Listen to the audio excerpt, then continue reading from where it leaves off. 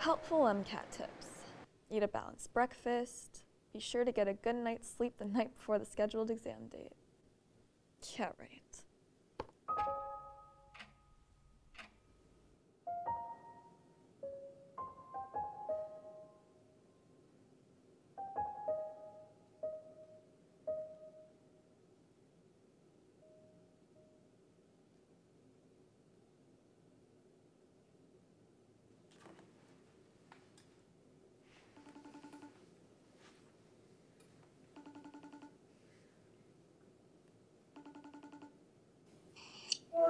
Hey, babe. Hi, Bunny. Sorry to be calling again. Yeah, no, it's all good. How you holding up over there? You okay? Not so good. I just gave practice test three another shot. You know why I have trouble with CARS. Hmm. And? What? Uh, what did you get when you did practice test three? Are you sure you want to know? I took it a few weeks back. Came up with a 515, I think. Oh wow, that's that's really good. Yeah. You? 123 for CARS, 502 overall. Oh. How are you so much better at this stuff than I am? You should probably be heading home soon. Shit. It is getting late. I gotta stick around and keep working a bit longer though, just until I'm really ready, you know? But I'll see you tomorrow, right? Hmm. You bet.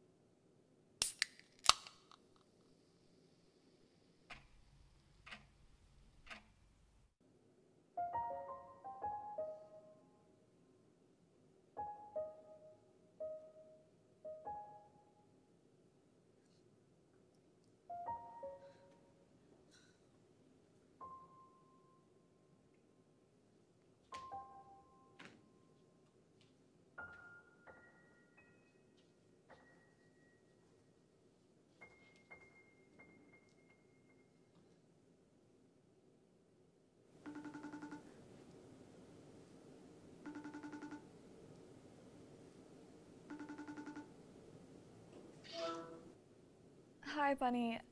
I'm sorry to wake you. I can't focus. I just really wanted to hear your voice. Boy, you're really out, huh? I'm Like a baby. You still at campus this late? Yeah, I just I can't stop thinking about like what if I run out of time and I can't get my last thought out or what if I studied all the wrong material and I wasted all of my time on something that wouldn't even be on the fucking exam? okay, whoa, whoa, whoa. Slow down. You seem crazy stressed out, babe. You should really get home and try and get some sleep. Start time's at 8:30. Okay, I, I guess I'll try soon maybe. Sorry to bug you again. Night, Bunny. It's fine. Don't worry. Night.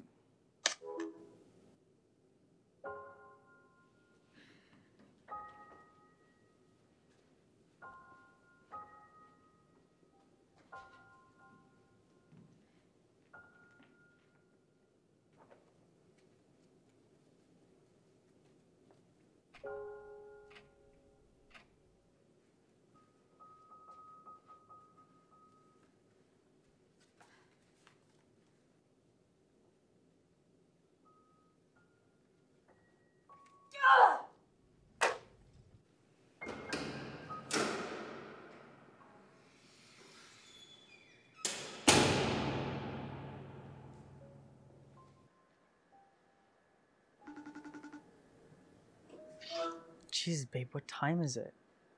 Are you still on campus? What are you still doing there? I can't do this exam, Sam. I, I just can't. I can't do it. I'm not cut out for this. I'm just not. You need to calm down. Just breathe. I can't concentrate. And there's no way I'm gonna get any sleep like this. And it's so late. And God, what if I fall asleep after the exam starts? Or what if the nerves make me throw up again? I really, really can't do this. You're gonna be fine. You shouldn't worry so much. Well, aren't you worried? Clearly, you seem to have this whole thing a lot more figured out than I do. Why do I have to be so much more nervous than you are? Seriously, how are you staying so calm right now? Why are you so wrapped up in what I'm doing? What does that mean? My practice test scores, my study routine, everything I'm doing, you're always comparing yourself to me. Plus, you call me like 12 times a day. Well, you can't blame me for wanting to keep up with you. You said we're a team, and doing this test together, that's always been the plan. And hey, maybe if we both got into UBC. I practically have nightmares about sitting down in that exam room without you there next to me. I already took the exam.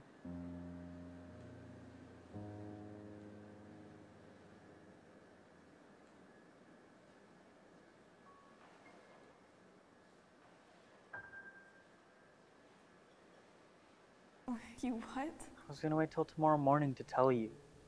I had a shot to take it sooner. So I did. A few weeks ago. I don't understand. I wanted.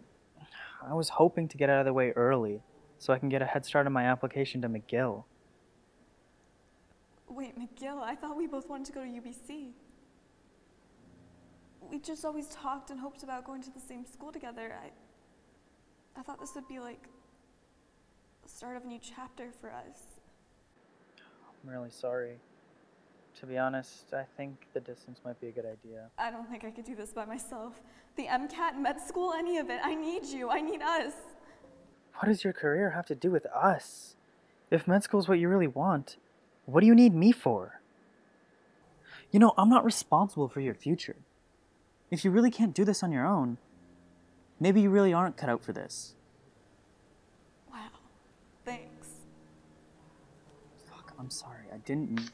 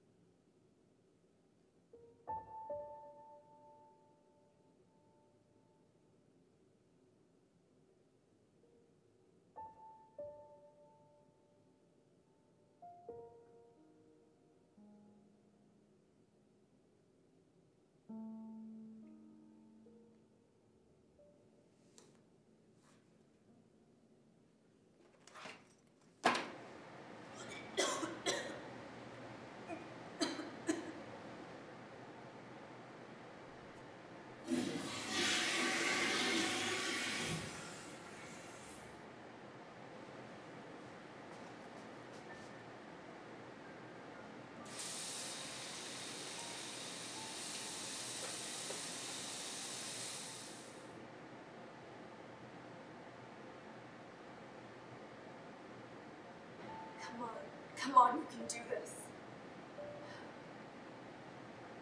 Shit. Okay.